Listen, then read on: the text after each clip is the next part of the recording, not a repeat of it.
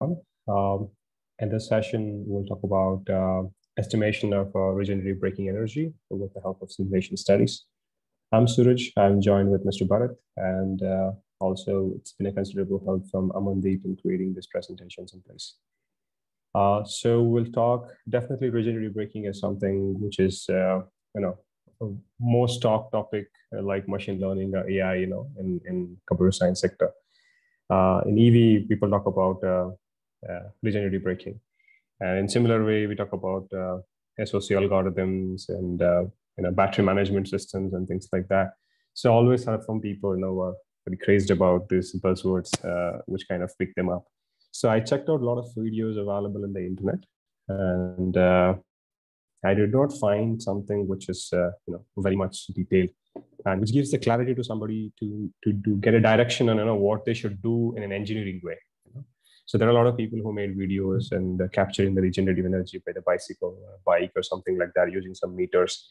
But you know it's not like you know if you're an engineer you would do it in an engineering way because we use simulation tools at industry and uh, using those simulation tools we predict what is the exact amount of regen energy. Then we go to the market know, and then we go to the field and test the vehicle.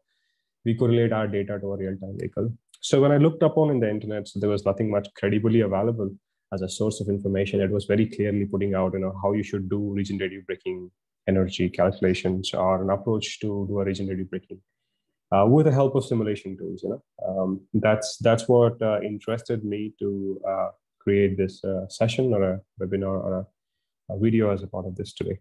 So I would go starting from non-automotive applications. I will play a video uh, ahead of this uh, slide, which I want to take as an example that regenerative braking is not something just because of automotive.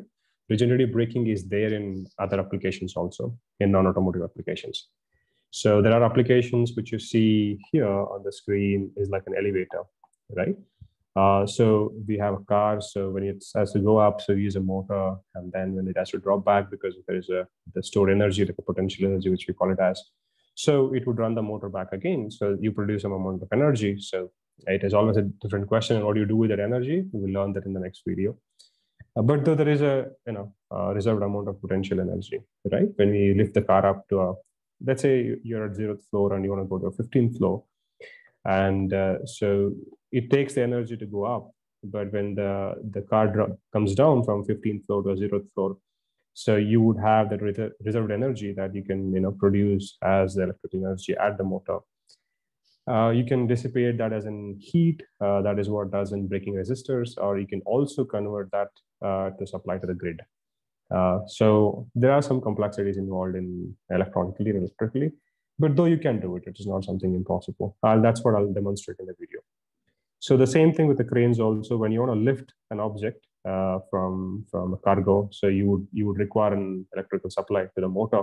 And when you want to drop back that cargo to the floating area or let's say storage area. So you would have that energy stored as a, uh, a potential energy. So you would drop it back. So when you drop it back, so obviously you would convert, you know, you have that possible, you know, uh, energy that you can convert into electricity and supply to the grid. And, you know, that kind of makes it more economically viable that you, you save the energy and you don't waste it. So your electricity bills comes down and, you know, you have a potential viable option so this has been already there you know in the market and this is not something very new. Um, so what is an automotive as a specific word in regenerative braking we'll, we'll understand that by you know going through the video and then further on. Uh, if somebody have uh, uh, a slow internet it may be that you know this video may not be played well for you but though i'll record this and i'll put it in the youtube so you could uh, definitely spare some time and watch it in the youtube too. So let's uh, hear this video what it talks about. It's from a KEB, uh, a company called KEB who makes the components for a uh, vision. When lifting a fully loaded car in a traction elevator application, electrical power is delivered from the building utility to the elevator system. However, when descending, that same fully loaded car will regenerate energy. In other words, the stored energy in the mechanical system is converted back into electrical energy.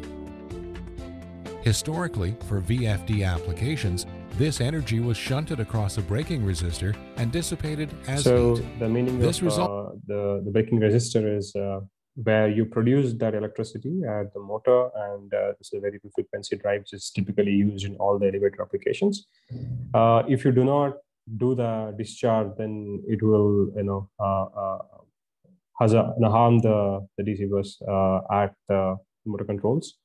Uh, we have to have a, uh uh braking resistor, which is basically a huge resistor which dissipates the uh, uh, electricity in terms of the heat. Uh, that's why when you go to a, uh, elevator rooms uh, up on the top floor, you, you could see there's a lot of heat in the uh, uh, that elevator room. That's basically because there is a the, the resistor which basically dissipates when you go down. Uh, when the electricity is produced when you go down, so that's what happens with the uh, resistor. resulted in two problems. First, the heat represented wasted energy. The costs to a building owner could be significant depending on the size, duty, and number of elevators in the building. Second, the additional heat in the machine room often resulted in additional cooling costs. There is a better, greener alternative.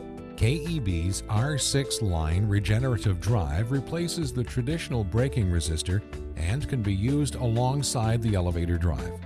When an overhauling situation exists, the R6 regen unit goes active and commutates energy back onto the building to be consumed by other loads, such as lighting or HVAC. The R6 is very compact and is available in capacities up to 500 amps. The smaller units can be used on both 208 volt and 460 volt installations and automatically detect the mains voltage and frequency. The R6 units require little adjustment and are easy to use. They feature internal DC fuses and programmable I/O. For applications that need to meet IEEE 519 power quality standards, passive KEB harmonic filters can be used to meet the most stringent levels. In addition to saving energy, the R6 line regen units save Cool. money So too. uh, it was just to kind of overweave on understanding what exactly is regenerative uh, energy. And it is not something only there in EV application, but the regen is already there in many other applications from many years in place. Cool. So it's something as a new technology as such. Uh, but this whole uh, session is uh, why is it uh, so much about automotive and how was it uh, related to automotive? So that's what we will talk about uh, further ahead of this presentations. So you can consider a same situation for automotive, like a downhill compared to an elevator, right, or a crane. So when you're going up, uh, when you're going up the hill, it's like going from zero floor to 15 floor. When you're going, you know, coming down from 15 floor to zero floor, it's like downhill condition.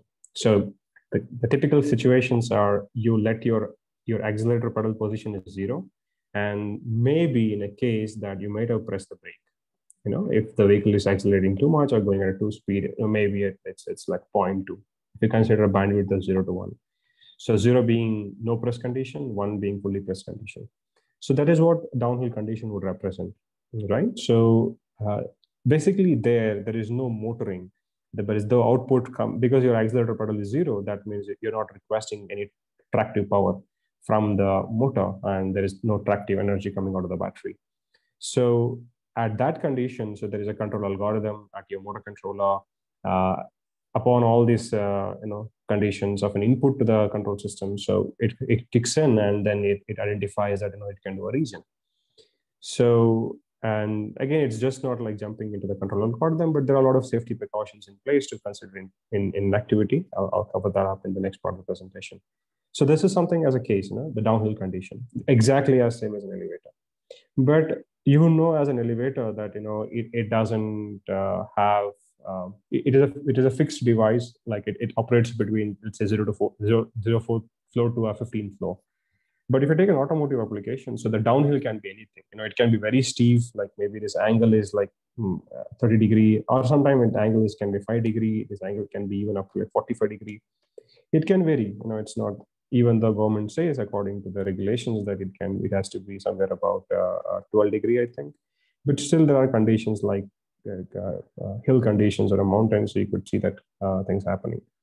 So this is a typical consideration, and you can convert.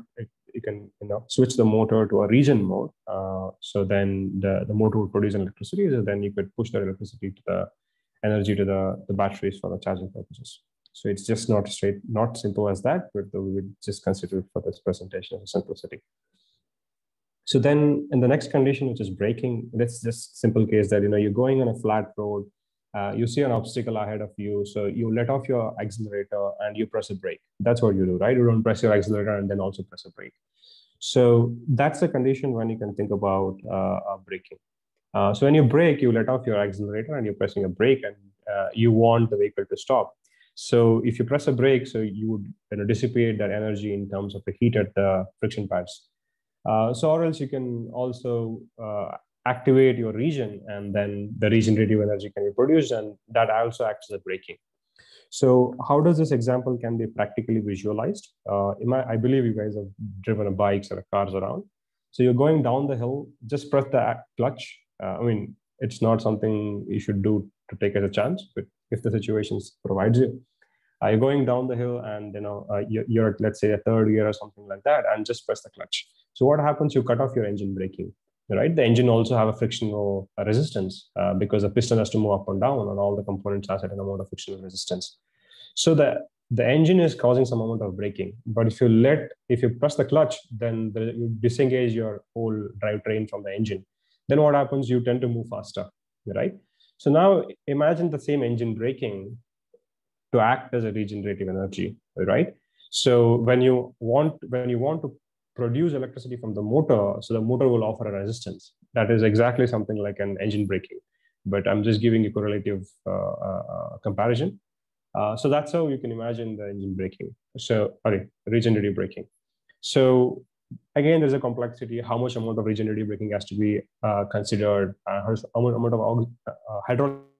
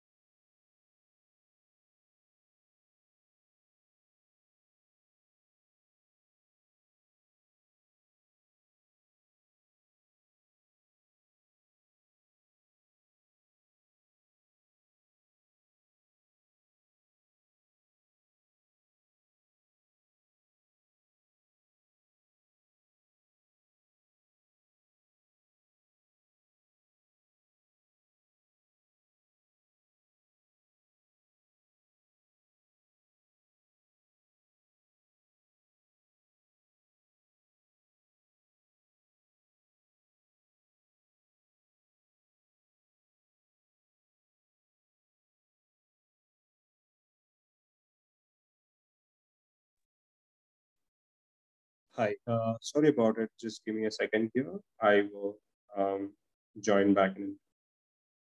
I'm not sure there may be some internet disconnectivity uh, possible. I will join. Me a second.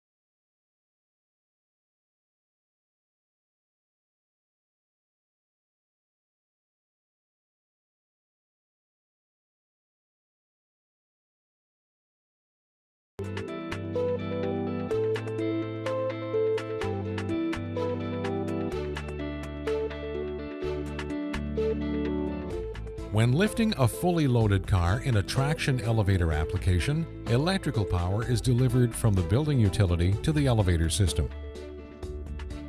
However, when descending, that same fully loaded car will regenerate energy. In other words, the stored energy in the mechanical system is converted back into electrical energy. Historically, for VFD applications, this energy was shunted across a braking resistor and dissipated as heat. This resulted in two problems. First, the heat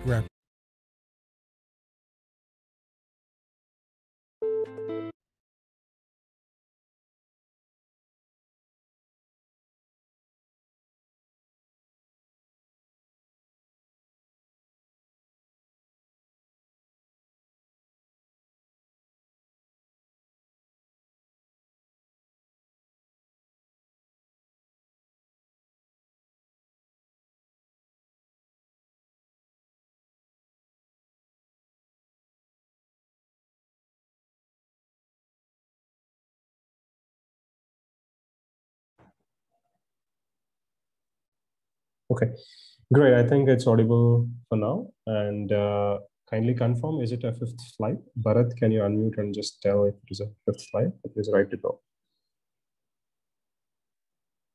Okay, great. So um, talking about the, the topic here that, you know, how uh, the regenerative braking is different for uh, applications such as automotive than compared to a standalone application such as uh, elevators or cranes. So when you talk about automotive, uh, you know, uh, uh, if you go back to the application of an elevator, so you don't tell the elevator that you know to go from zero floor to 15 floor in let's say five seconds. Uh, it's elevator company who defines what is right, and then it has fixed the values that what has to be happening between a zero to a 15, uh, sorry, yeah, 15 to a zero floor, right? Uh, but in the automotive applications, it is not like that. It is a driver who defines what should be the acceleration, what is the deceleration, right? The the plot which is drawn here it's an acceleration uh, velocity uh, where we are trying to draw value of acceleration uh, which driver is uh, when the driver is driving the vehicle. So he's accelerating the vehicle and then decelerating. Deceleration happens when you brake the vehicle right? So that's the condition of deceleration basically. So now when we talk about uh, uh, this profile which is acceleration and deceleration this acceleration deceleration depends upon various different parameters. The parameters may be such as uh, road condition, type of road, driver, I mean, whatnot in any other conditions. So all of them will combine together and define this acceleration and deceleration. So these are the values actually which contributes to the parameter of regenerative braking. So the regenerative energy capture, right? So acceleration is a motoring torque and uh, deceleration is a regenerative torque basically. So the thing is, it is not same as elevator that here we have our acceleration or decelerations in a very dynamic manner. So second thing is, uh, as we are discussing in that video, that you know, there is electricity from the elevator, um, it goes to the R6 and then it goes to the grid, or it goes to harmonics and then it goes to the grid. Uh, when it goes to the grid, you utilize in the grid. The thing here in the EV application is we have a battery, which is the the the where you store the energy, right? So a battery have some limitations. You know, you can't just pump in a lot of current within a short time of span, right? So it is having some limitations. So we need to think about those limitations. And braking is a safety critical system. It is a very important topic to understand that, and I, I see a lot of uh, startups and you know young entrepreneurs or even guys out there doesn't think about the safety as a critical parameter if you talk about uh, braking, it would come in a very highly critical system because if brake fails, you know, the next thing is an accident, right? So according to uh, functional safety or with um, the ASIL standards and things like that, so we rate at it is possibly a D. So it means a very uh, safety critical system. Uh, so if if the regenerative braking it is not going to work fine, then the vehicle is not going to stop. Then, if the vehicle is not going to stop, then you see a potential hazard of an accident next. So, it is not the same condition when you talk about um, elevator applications, right? So, it is a highly safety critical system. We should be very careful about designing a regenerative braking. It means, you know, what is the percentage percentage of split between the hydraulic brake and the regenerative brake? then it, it requires extensive control.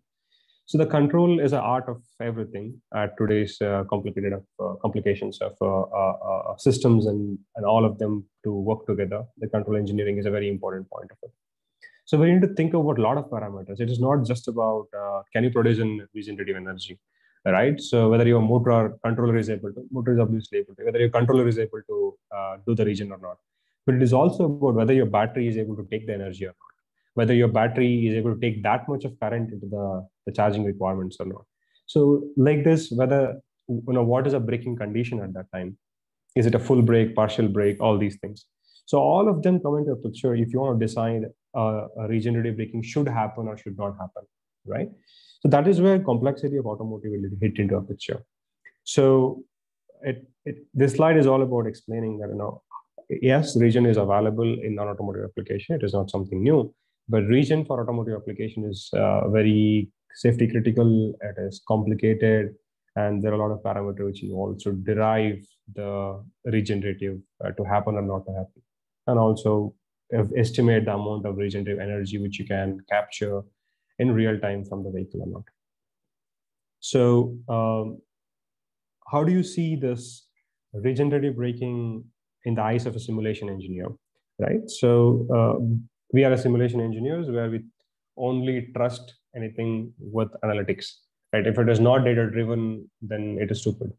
So that can be only proven if you have uh, things like model based design right? So people do feel like you know they can do it in excel but it, it's not that easy because it's a it's, it's a very uh, complex system. There are a lot of parameters that comes into a picture. So you have to use simulation tools.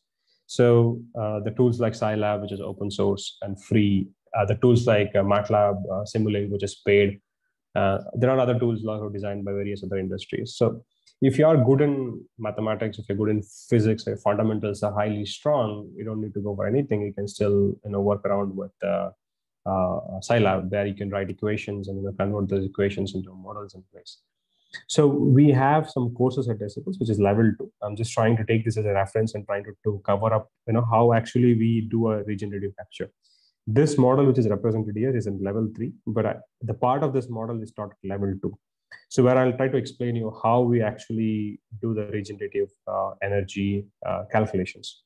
The first and foremost importance is drive cycle. Okay, the amount of regenerative energy you can capture, uh, leaving all the control logics and safety criticalities in place, depends upon the drive cycle.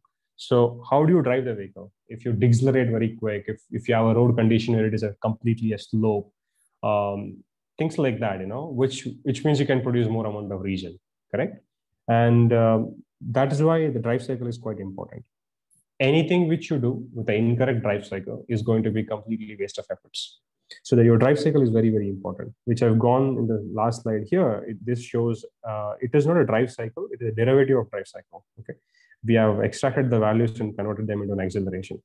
The rate of change of velocity is acceleration, but usually the drive drive cycle is velocity with respect to time, right? So if you draw a drive cycle, so you will get a velocity. Let's say this is zero, and because velocity cannot be negative, so v is your y-axis and uh, t is the x-axis, which is time.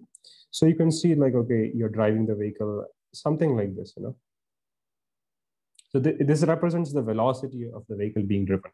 But the velocity and all these parameters which are included as a part of this graph which leads to create this graph, right?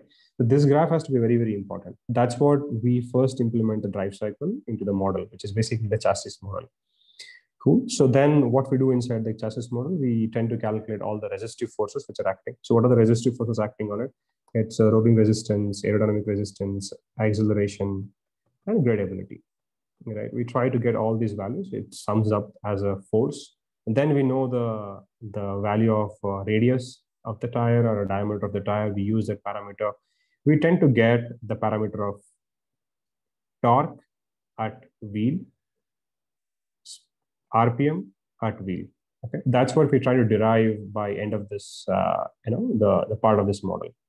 So once we derive there, then we will, if you have a transmission, if you have a direct drive, then there is no involvement of a transmission. If there is a transmission, because you have specific gear ratios and there is efficiency parameters that's also involved, you put those calculations here, then you get your motor torque and a motor speed, correct? So this is how you will be able to derive from your you know vehicle speed as a drive cycle to the motor torque and a motor speed. So then we have uh, approach to calculate the motor power here, okay, inside the motor. And this is at a level two. When you go to level three, I'll explain, we can actually calculate the motor current and the motor voltage with respect to RPM and the torque also. But at this level two, because it becomes very complex for the learners, we have put only the motor power as a part of it, okay? So what you can do at this stage is once you are able to uh, get a drive cycle and come to this point, we will be able to calculate what is a negative power at the uh, motor. Because when you see uh, drive cycle here as acceleration parameter here, there's a negative acceleration, right? So this part of the negative acceleration will become a part of your input to the regen power. That means it's a negative power, right? This is a positive power, it's a motoring power. And this is a negative power, which is basically a regen power that you can possibly capture for, as a regenerative energy. Cool. So to do that, you have to have the model until this stage. And by the end of this stage, you'll be able to estimate the negative, uh, sorry, it is negative power at wheel. You'll be able to come to this point and be able to calculate the negative power at the motor.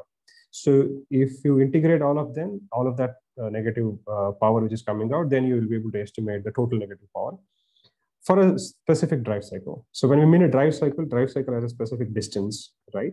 So some drive cycles are like you know, 1000 seconds, 2000 seconds. And depending upon drive cycle, it means the distance you traveled or the time you're taking to travel.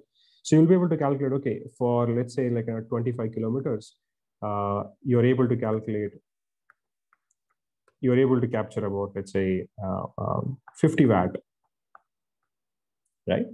So this value is basically what we is what we derived from the part of this regenerative power, okay?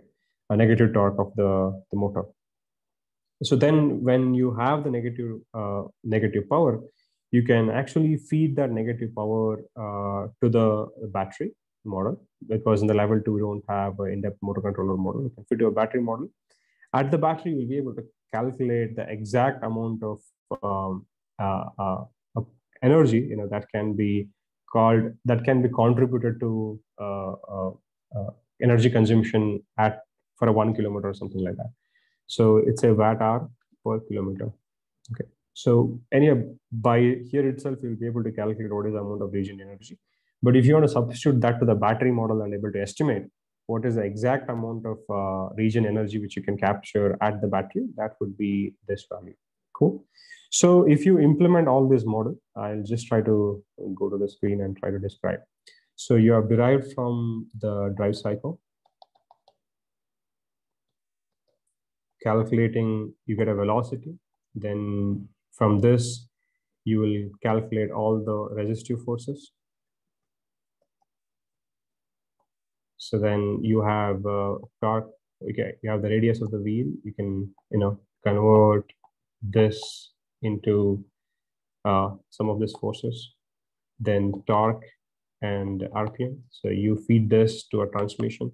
You get the torque and speed, but this is at the motor, right? And this is at a wheel. Then you you know it's negative power, so you can accumulate that negative power as a part of the you know uh, regen energy, which is here. If you integrate all the part of this negative negative power, then you will be able to get a total power that can be accumulated over a specific drive cycle distance.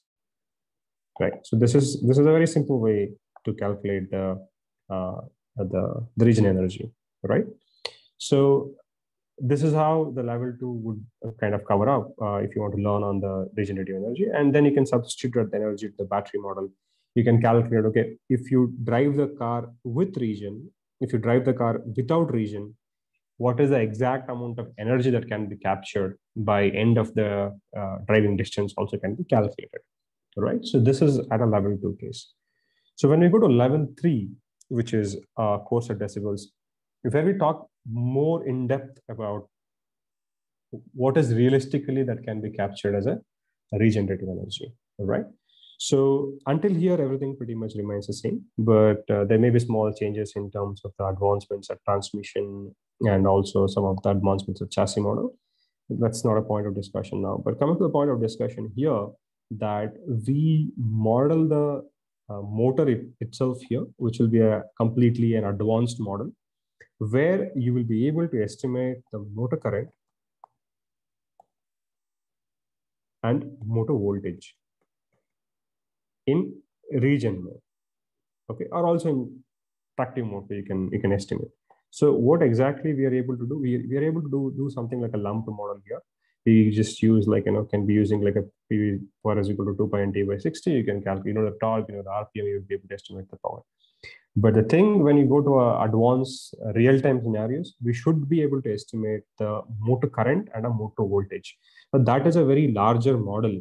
Uh, we should have a lot of parameters to actually model the uh, motor and that itself is about like you know quite decently uh, uh, eight to ten hours of efforts so if if you know that you know you can also get uh, simscape models for the motors and all these things it's great you know it's like uh, i don't know physics but i want to be an engineer you know. So it, it's, it's a fantastic way somebody want to do things. A lot of people uh, does it uh, but i i feel the way that you know if you want to work on engineering and component or really estimating thing you should be able to write every line of equation and understand the physics behind it and then convert it to a model. And because you know this is why the model is operating like this right?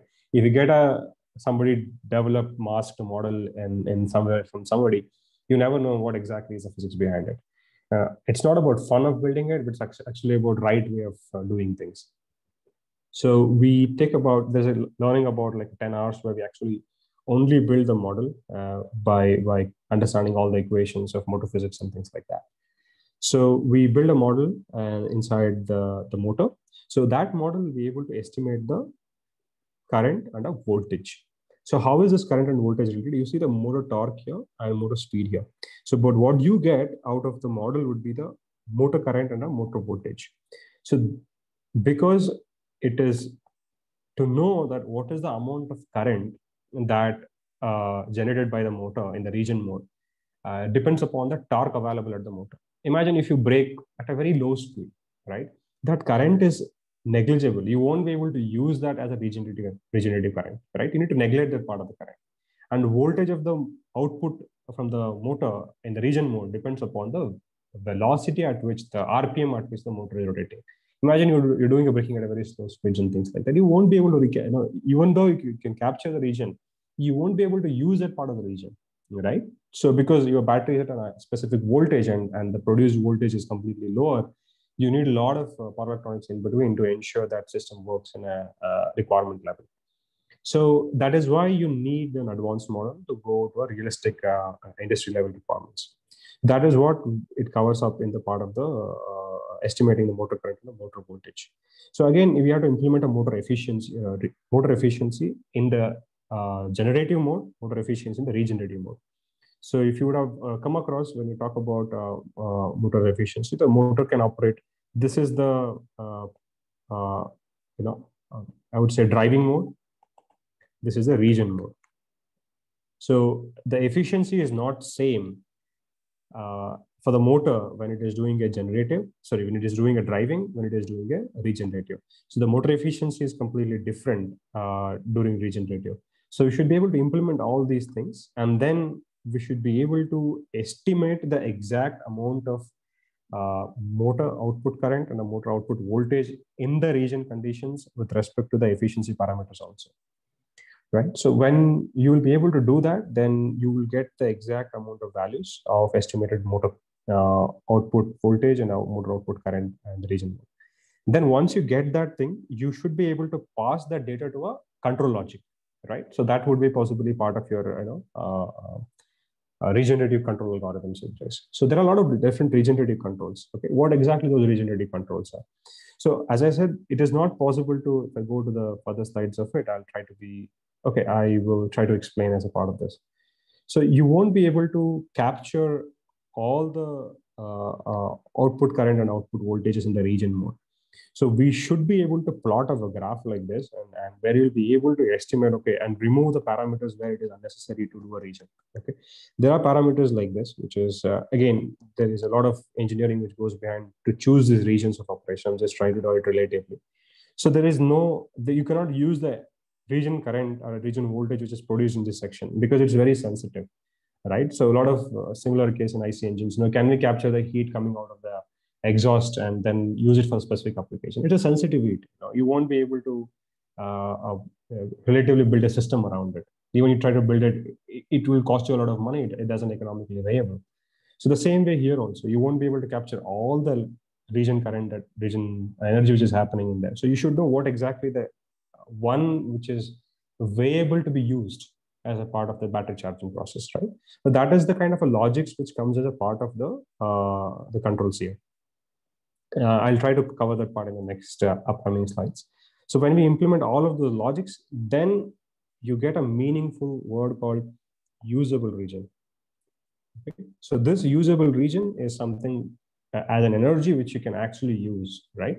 With all the implemented control logics in place. So this is how what we cover the learning approach in the level three as a part of the modeling, modeling, modeling things.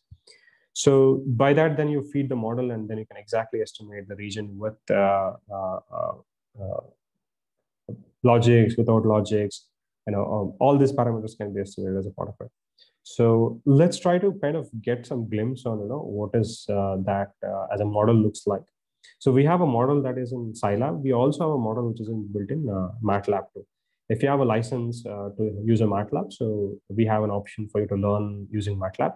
If you have an option, if you do not have a license thing and, you know, uh, uh, there are issues in place, so you can also learn using Scilab, which is free and open source as a part of it. So I invite our senior simulation engineer and powertrain lead, Mr. Bharat, uh, to share his screen um, to, uh, to showcase the overview of the model. Uh, Bharat, you there? Perfect, yeah, uh, Bharat is sharing his screen. Okay, so we have uh, uh, screen visible from Bharat's laptop. So we, we have done the whole model as a part of the things which you see here. Uh, but can we just slightly go into the justice model and try to see through and uh, what stuff's in there, and we'll just jump in. And I know I'm just overrunning out of time. So, so this is this is a whole holistic approach, not using any masked models or anything of that from the SimScape. So it's purely uh, uh equation driven, and everything can be editable in a format. So this is how the whole model looks like if you see around here. Uh, but can I just uh, quickly see some models in place, maybe the motor models and things like that. So uh, I think your other screen is not visible. Maybe you might have opened it. I'm not sure. Uh, so uh, only the current screen is visible.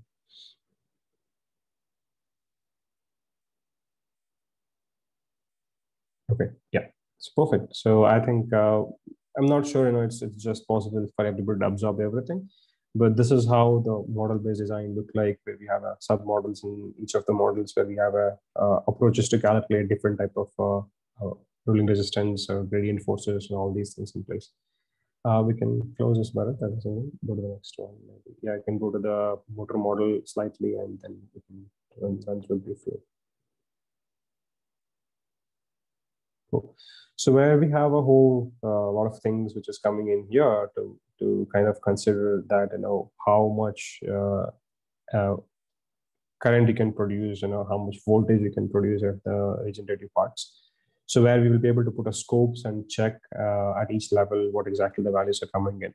So now, let's let's just quickly run uh, this model and try to see some of the graphs which are coming out. And I have some of the graphs to showcase which are quite important as a part of the discussion. But uh, so if we can see how it comes up.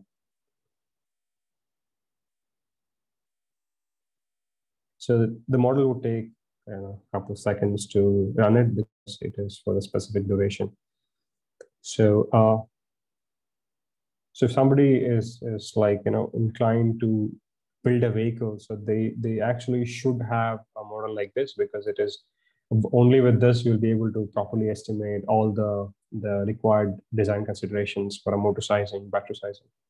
The most amazing thing is, you know, you can actually uh, size the battery relatively smaller if you do a perfect regenerative energy calculations. Uh, if you take an example like a racing application, you know, so where the weight of the battery is very critical in a place. So you can't just keep putting a very big battery. Uh, so that's going to be cost intensive and also the weight intensive. So the cost is something is not a parameter for the racing, but the weight is going to be because it's going to affect your acceleration, you know, all these conditions in place. Uh, so you can uh, study like you don't have only one driver; you would have like a couple of drivers in place. You know, uh, best driver would be having its highest performance of the vehicle. It means you can utilize the vehicle to the best of its uh, peak performances. An average rookie driver cannot be able to do all the best what the best driver could do, right? So you could perform the simulation studies, and then you can you can get to know what is exactly the battery size, uh, regen energy which you can capture. If you do this many laps, you can capture this much of energy and you can store it back so that you know you will be able to potentially use that amount of uh, uh, regen for your uh, uh, battery so that you can size your battery pretty smaller compared to uh, somebody else and that gives you cost competitiveness and also it gives you a, a weight competitiveness for the real-time applications you know you can also exactly estimate the uh, energy capture at various different drive cycles you can you can do uh, optimized sizing of your transmission that where you get your possible regions. Uh, getting to know the possible regions you can even think about what is the possibility to extend the range of the vehicle you know? And uh, overall in a bigger picture how much amount of carbon you can save you know? Uh, uh, by not consuming the electricity to charge the battery so that's uh, a, a, lot of things which you can actually do if you if you know the uh, approach to do a proper regenerative modeling in place.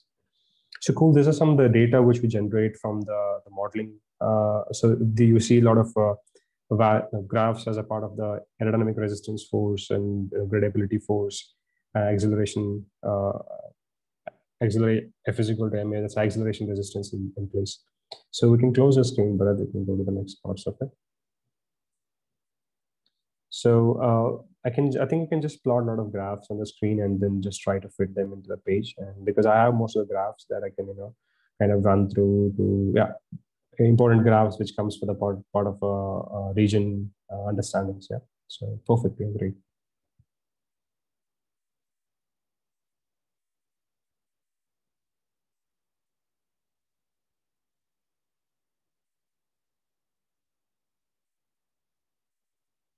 So it's a it's a job of a simulation engineer, you know. So we, we don't see anything without uh, a graph. We don't you know judge anything without a uh, exact values, right? So we, we still know it is not something always accurate. But when you try to mature the model uh, uh drastically, so when you get a correlation between your real-time testing data and a, a model data, uh, it's a perfect correlation. And you can still have like one or two percent variations but, but getting the confidence to know this is what i can achieve out of the system is quite important. So here we will be able to estimate you know this is exactly the, the motor regenerative power uh, at every given uh, you know second of the uh, model. We can implement controls and we can check or can tell okay you can't go to produce if, if you can't produce more than this we won't be able to do certain regen operations and things like that. You can put all the logics in here and then you'll be able to decide what you can do. So this is an overall graph to understand at the last that, you know, including the regenerative energy, uh, you can actually increase the range, right? So this is negative is a regenerative energy. It means you are producing that. If you sum that up, then you know you can actually consume less amount of energy from the battery pack as a part of it. Cool. So I think uh, that's an overall right, Bharat. I'm sure it's it's it, takes about like you know many hours to kind of come to the stage what we can call as a complete uh, data of the model. So where you can enhance the uh, details to the battery model, where you can implement your thermals when you do a regen, how much temperature is going to increase, and all these things. I'm intended to cover that topic in the next uh, webinar maybe. But as a part of it, you can actually uh, you know estimate uh, with regen. If I'm right, Bharat, it is with regen on the left side and without regen on the right side. I'm sorry, it is uh, the reverse of that.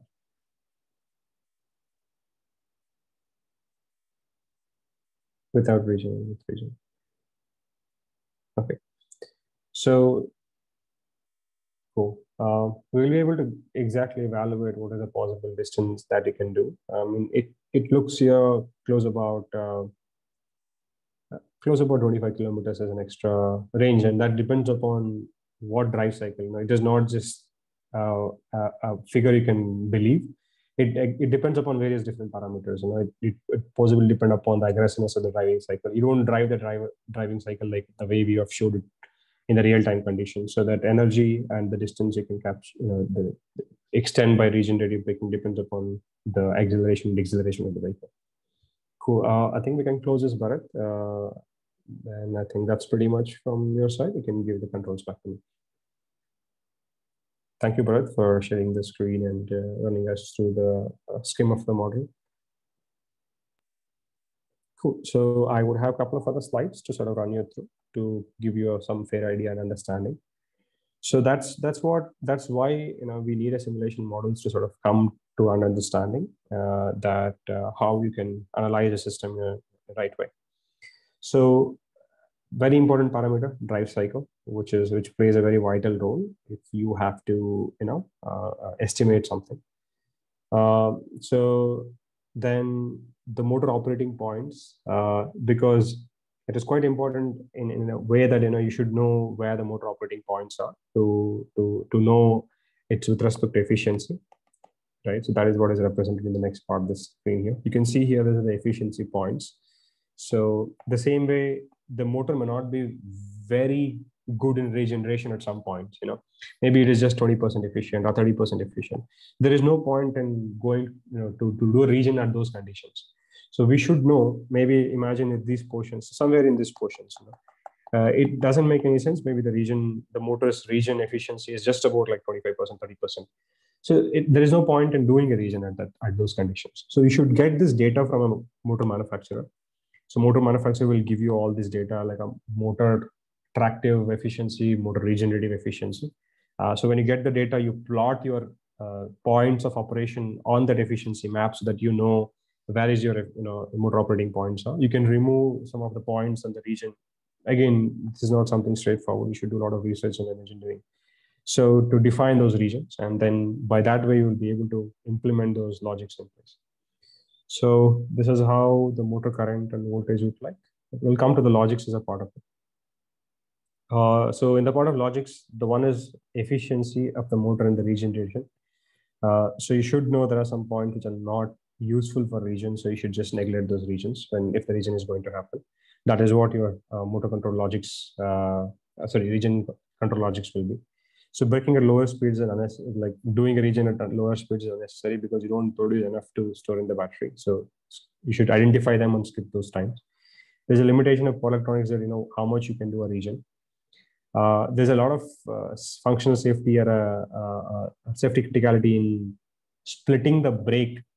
Uh, how much is to be given for a hydraulic? How much should be given for a regenerative? So you should do enormous amount of tests to come and validate that, know, okay, this is what exactly is right for regen. You know, that's something which you have to fix here. That that is an enormous amount of work to kind of define. And then your SOC strategy, because the the battery cannot be you know, charged and discharged at, at any given uh, uh, current values. So there is a limitation of how much you can actually do uh, charge the battery with certain C ratings. So you should be knowing when you're selecting a cell also that you know can it really take a regen. But for that, you should know what is the exact amount of regen current you're trying to get in here. If you do a simulation models, you should know what are the current that you, you will produce in the, the regen modes so that you'd also have a possibility to think about selecting a light cell that can accept the regions if you see the regen as a very uh, promising feature and functionality. So there are some control logics we also have written when we're trying to implement uh, during the programs. So we, here is some data which shows with regen, without regen, sorry, with logic, without logic. What exactly the difference is. If you see these regions and all, we, have, we don't consider those regions in place. So we, we, do, we skip those points and those are all the points which are put in the logic control that it, it just uh, eliminates those points uh, that it neglects them and then it only captures certain amount of uh, rigidity current rigidity values so I end up it when you implement with logic and without logic, you can estimate, okay, if you do with logic, without logic, what, what you can think without a logic, you will, you may get a higher regen power, but it is not realistic. You know, you can see the difference here. The, there is a, the, the there's an exact amount of difference in, in percentage when you see uh, a vehicle driven with regen and without regen. So the SOC of the battery can be somewhere about 90 uh, 92 or maybe for the with logic it would be about uh, little about 90 91 somewhere about that. So it means doing and right implementation of logics do give you an accurate value and that's why you should know about logics and trying to implement those logics in place with the rigidity control. So this is something which we have tried to uh, gather with the simulation data. It's sort of a bird's eye view that uh, with SOC, uh, SO, SOC with without without logic, SOC with regenerative logic. Uh, so you can get the values, which is uh, promising here in terms of uh, uh, by end of the drive cycle, what is the amount of SOC left in the battery, right? So by performing all these studies, we can estimate these values. And this is what Nissan has published. Uh, so they were able to estimate about 744 kilowatt hour when they drove the vehicle about 11,000. So to make a simple math, uh, so you can make that by, if, if you convert to kilometers, I think it comes about 17,200, I believe. So I think its average comes about uh, 4.5 or like somewhere about four relatively. So it means they are able to capture about four watt hour per kilometer of distance travel. When the vehicle driven about 11,000 miles, you know, you see a very significant number, you know, 744 kilowatt. So 744 kilowatt, imagine. So if you have to uh, convert this into a range of the vehicle, so each kilowatt, um, maybe the vehicle is giving about um, eight kilometers. So if you multiply this with eight, so it's about uh, sorry. So it's close about 6,400 extra kilometers uh, for a distance travel of uh, 17,200 kilometers. That means it's it's fantastically great because you you would have used the energy from the grid to charge 744 kilowatt, and again there is a the, the, the losses in the charging and discharging. If you multiply that by 20% extra, so you get somewhere about uh, 75 75 is 150 so it's come about 900 so 900 kilowatt of energy would have consumed from the grid if you did not implement a regen uh, for the vehicle so that is the significance if you see as a larger picture as an engineer that you know what you're trying to contribute uh, to uh, uh, uh environment by by making a right and you know amazing perfect uh, regenerative braking system is, is, is something really, really large. 900 kilowatt is, is a hell a lot of energy that you would produce from coal, you would, you would produce so much of uh, uh, emissions as a part of the environment. But here you would be able to reduce all that emissions and it is being wasted and you, you try to recapture that. So that's the weightage of the, the regenerative braking if you do it rightly. And so how do you learn at Decibel? So we have two programs, which is this, which is this. This is uh, not open for everyone. Uh, if you want to take it up, I'm sorry, not this one. So this would be the this program. So you, you can, we have taught most of the content we have covered uh, to be uh, needed for regenerative energy calculation. So this one is to start with, it's mandatory. And then this is the other model. Uh, so where you will be able to completely uh, estimate the exact amount of regenerative energy that you can capture. So thank you. So if you want to visit our website, so it's lms.decibelslab.com. You can go down here. So we have everything on the homepage listed, which is level two, which is here as a part of the course. And then we have level three, that is uh, the advanced regenerative uh, energy capture. So I will be uploading these videos onto the YouTube. Uh, if somebody have missed it, so that is our this is our YouTube channel, uh, Decibels Lab. Uh, so you can find us on YouTube and then do subscribe to the YouTube channel too uh, to, to watch the recordings of this uh, session. So the floor is open for questions. Uh, so if you have any questions, please drop them in the chat box. Uh, I should be able to take those questions and help you out with answers uh, with the knowledge I have.